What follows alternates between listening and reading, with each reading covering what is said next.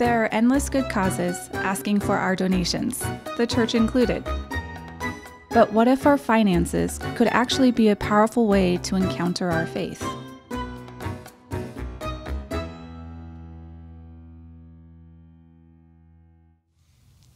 Uh, so this morning we're going to be kicking off just a, a new series, just a three-week long series, and we're calling it Nickeled and Dimed. We're going to be talking about money. Who's excited? Yeah, I love that. Um, what we wanted to do in this series is we wanted to spend a few weeks d- digging into the scriptures to discern what in the world does God have to say concerning our money and our wealth and our possessions and all that external stuff that we have in our lives. Now, frankly, um, here at TFRC, we don't talk about this topic very often. Um, and I realize that there are some, or perhaps many of us in this room, that the topic of money comes up in a church, and we're not exactly thrilled to hear about it, right? Um, the good news is, Pastor Chuck and I are not exactly chomping at the bit to talk about money with you either. So we're all in the same boat together. We're going to be okay, I promise.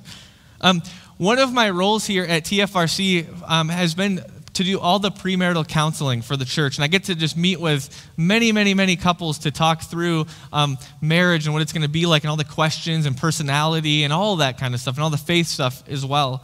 Um, and one of the things that I do when I sit down with couples, for premarital counseling is I always share the top three things that seem to lead to divorce, at least in America.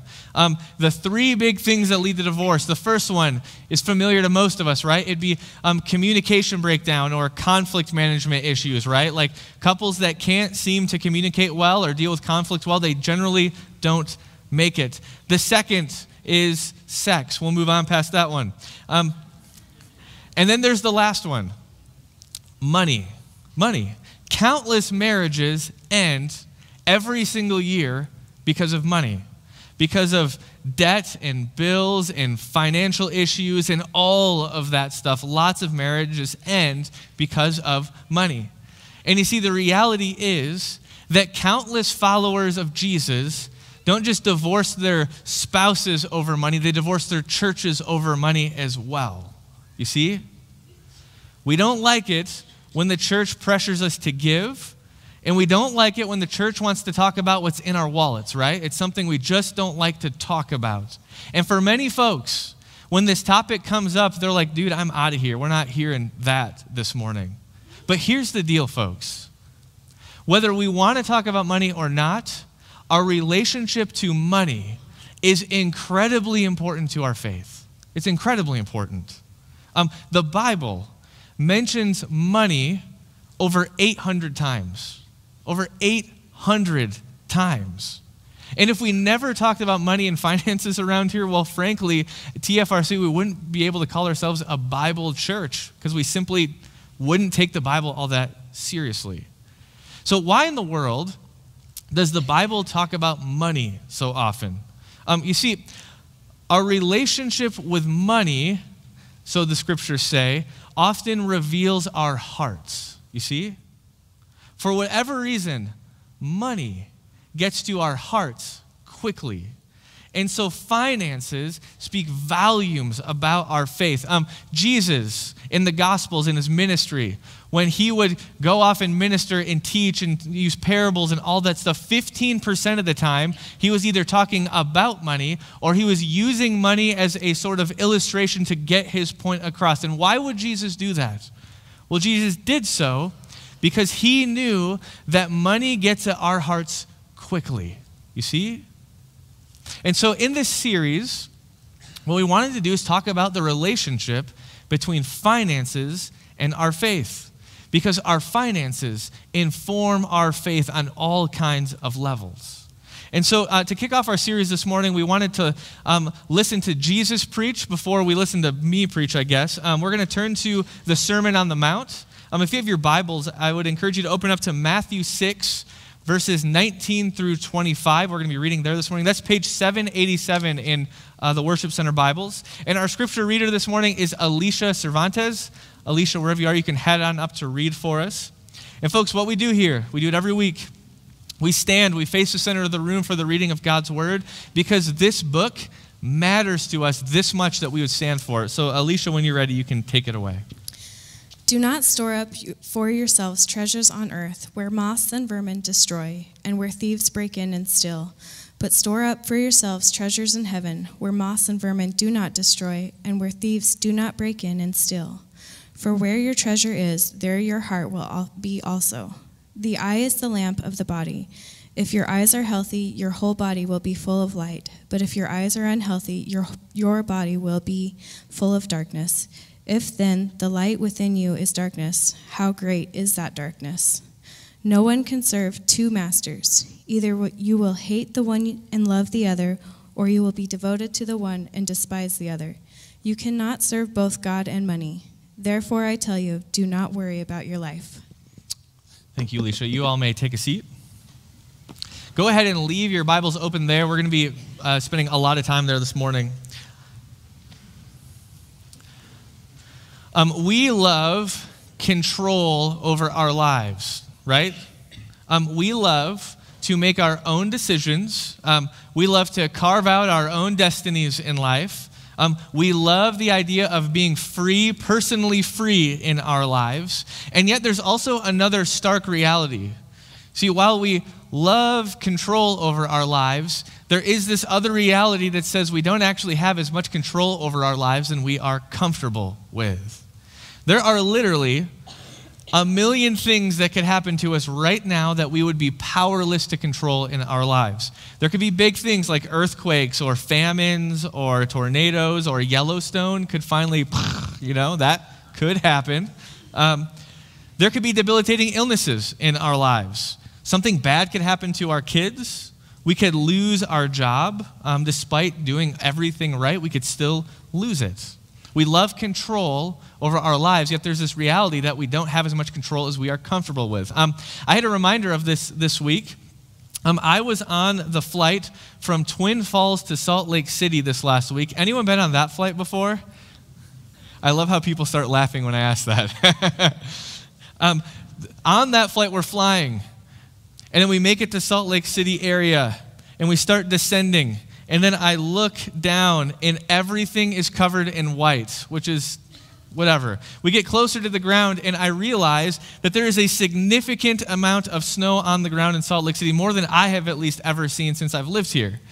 And then as we get closer to the runway, I look down and I notice that the runway is covered in snow. Like there's this much pavement between, you know, on each side, there's just pavement and then snow. And I realize that the plane that I am currently in that is descending is going to land, and it's not landing on that two inches of pavement, it's landing on the snow. And then I think to myself, this plane is going like 500 miles an hour or something like that, and it's supposed to stop on that snow. You see? At this point, I start freaking out just a little bit. Like, what happens, right? Um, what happens if the plane slides off the runway and then crashes? That would be bad. Like, what happens if the plane suddenly needs to stop because there's like another plane or something like that, and then we smack into that plane? What happens if I die? I have so much more left to live for, you know? Like, I don't know if you've had this experience in a plane before. And it was at that moment I realized how little control over the situation I had. I was sitting in a seat, and there was nothing that I could do that could alter what would possibly happen with this plane and this snowy runway. And then the plane rolls in, and the plane lands, and this is going to blow your minds. I survived. I know, it's crazy. Surprisingly, pilots know what they're doing when they fly planes. I don't know. That was news to me.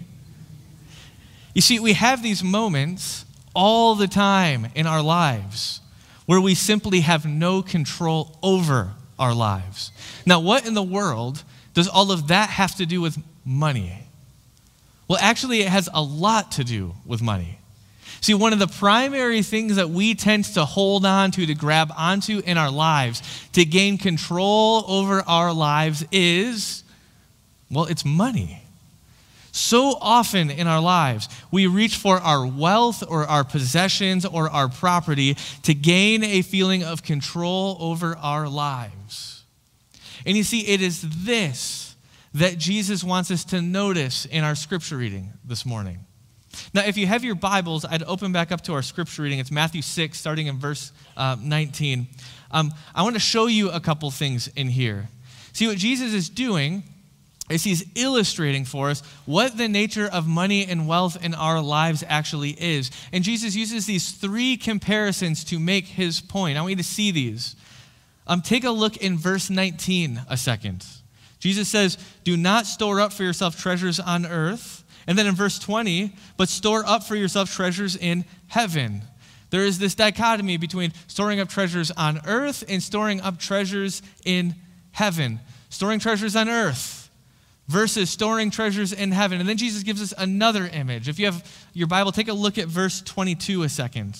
Jesus says, The eye is the lamp of the body. And then he talks about what your eyes are like and how your eyes are actually, it's a way to look inside of our souls in some sense, Jesus says. Is there light in there? Is there darkness in there? And he says, Well, it depends on if you have healthy eyes or you have unhealthy eyes. Healthy eyes versus unhealthy eyes.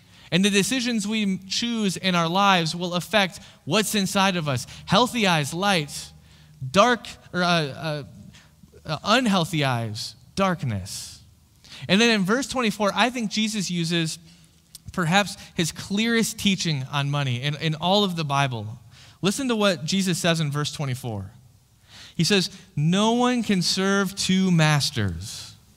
Either you will hate the one and love the other, or you will be devoted to the one and despise the other. You cannot serve both God and money. We can either serve God or we can serve money. Serving God versus serving money. It's that other dichotomy, and it's our choice. Storing up treasure on earth versus storing up treasure in heaven. Healthy eyes versus unhealthy eyes. Serving God versus serving money. Now, when we really pay attention here to what Jesus is saying, he's illustrating an important point about finances and faith. And the point is this that it's binary, the choice is. We only get to pick one, you see? There is no all the above answer where we get to pick and choose as we like to here. Jesus says, no, there's no way we can serve both money and God at the same time. We have to pick. You see? In fact, in the scriptures, Jesus has this interesting encounter with, with a rich young ruler, a rich man, in the Gospel of Matthew. And it illustrates this so well what he's talking about here. If you have your Bible, go ahead and turn to Matthew 19, starting in verse 16. That's page 800 in the Bibles in here. Matthew 19, starting in verse 16. Listen to this story of Jesus a second. It says, Just then, a man came up to Jesus and asked, Teacher, what good thing must I do to get eternal life? Why do you ask me about what is good? Jesus replied. There's only one who is good. If you want to enter life, keep the commandments. Which ones? the man inquired.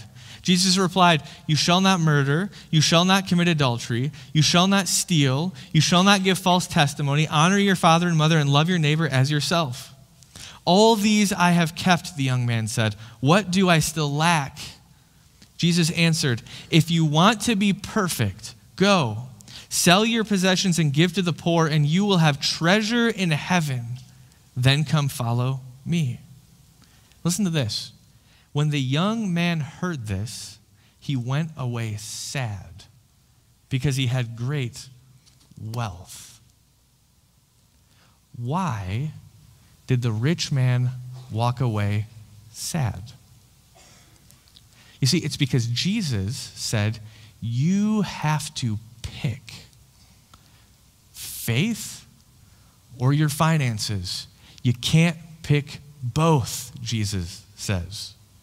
And because this rich young ruler, because he couldn't have it both ways, he picked the one he couldn't bear to be without the most. That was his money, you see? And just like the rich young ruler, we all have to pick two. We all do. See, here's the thing about money money promises a lot of things for our lives, right? Um, money promises us control over our lives, and money promises us freedom in our lives, and money promises us a future for our lives. But you see, control and freedom and a future, those are not things that money's actually going to be able to get us in the long term of things. Those are only things God can give us.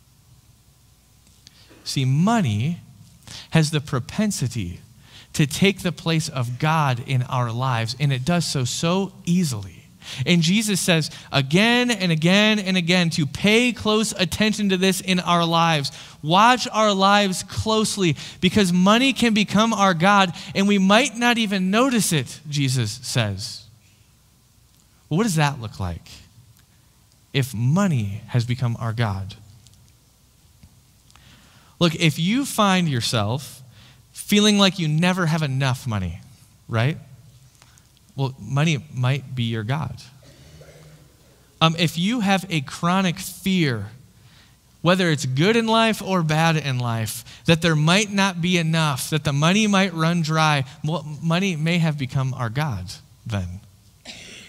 If we really struggle to part ways with our cold um, earned cash, right? Well, if you struggle to part with your money, money may have become our God.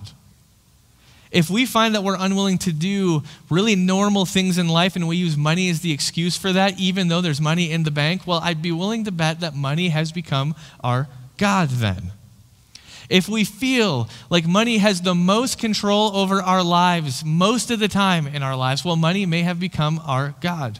If losing money is one of the great fears in our lives. Like, if we lost it all, that would be a really, really bad day, like top two. Well, money may have become a God in our lives. See, the question is really, who are we serving? You're serving something. Who are we serving? Are we really serving God? Or are we serving money at the end of the day? To put it another way, who or what do we trust in most in our lives? Could we honestly say, yes, it's God that I trust and I placed all my trust in God? Or, or would we say, well, maybe money inches God out there. I really trust my dollars and cents. And, folks, this is one of the areas in our lives where we are particularly good at deceiving ourselves, aren't we? Like, oh yeah, no, no, I'm a Christian. Like, I believe in God. God is number one in my life and my list of things that I have of, you know, top 10 list. Um, but then reality on the ground might look different and it might be an uncomfortable reality for some of us, right? We're really good at tricking ourselves about money, aren't we? You see, at the end of the day, money will never give us what we think it will. It never will. Money will never give us an everlasting hope Money will never make us into the people that we imagine that we should be in life. Money will never make people like you and me. I know it's surprising. It won't. In fact, it often does the opposite in our lives. Jesus says we all have to choose. Jesus says, Are you going to pick me or are you going to pick your money? Now, perhaps this morning you're feeling like, man, I don't know. Like maybe, maybe money is a God for me. Maybe it is. Um, what do you like? What do you do about that, right? You see, what Jesus illustrates with the rich young ruler is a really simple truth, I think. Jesus says, the only cure to being controlled by the coin is you have to give it away. You have to give it away. If you don't want money to be your God, you've got to give it away. Actually, that's a really simple truth. You just got to give it away. Money loses its power over us when we intentionally lose it, you see? it's amazing. You know, for me personally, this has been one of my hardest life lessons. Um, When I was a kid, I grew up very poor. Um, I grew up in a 1960s, 70s single wide trailer. It was rusty. And when it would rain, I remember my dad would have to jump on the roof and try to plug the holes where it was leaking, right? It was one of those great houses. And money was this anxiety in our house growing up all the time. Would there be enough to pay the bills this month? We didn't always have the answer to that question. It was a really big fear for us. Um, would, would we have enough for groceries this week? We didn't know. We didn't always know. Would we have enough to get the new clothes we need or the shoes we need? Sometimes we didn't know. There was an anxiety around that. And then I grew up and I became an adult, and I brought all that anxiety about money with me into my life, in my marriage, and my family. I was fearful of money for like a lot of my life. I remember there were times when Becca and I would have to make a big purchase, and I could not get myself to slide my debit card on the debit card thing. I just couldn't do it. So I had Becca do it. we share a bank account, so I don't know what the purpose of that was, right?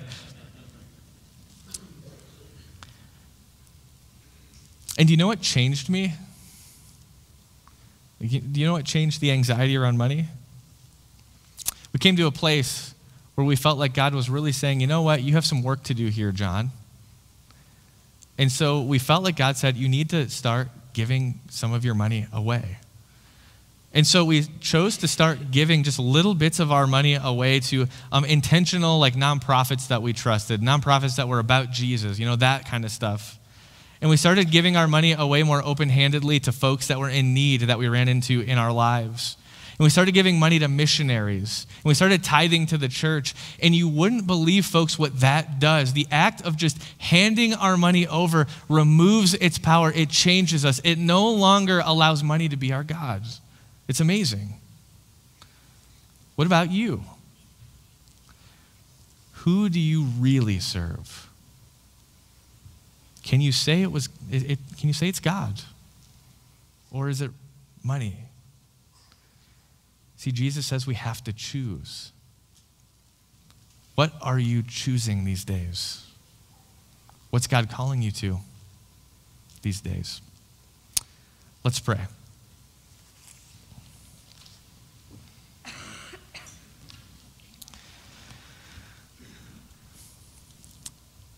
Jesus, we thank you that you've given us your word. Um, and your word is filled with all kinds of beauty, but also practicality as well, God, that you even talk to us about money.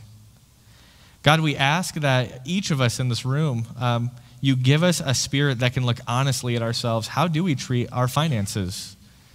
Do we pick our finances over you? Can you show us how maybe that's not going to work for us, God? God, we thank you for Jesus. We thank you that you are so gracious to us on topics like these and every other topic. And we thank you that um, even where we're at this morning, talking about money, that you still go to a cross for us because you love us and you're gracious to us. So, God, we ask that you send your spirit to change us, if that's what needs to happen this morning, to grow us more into the image of Jesus. And we pray all this in Jesus' name. Amen. May the Lord bless you and keep you. May the Lord make his face shine upon you and be gracious to you. May the Lord raise his countenance to you and give you peace. Amen, church?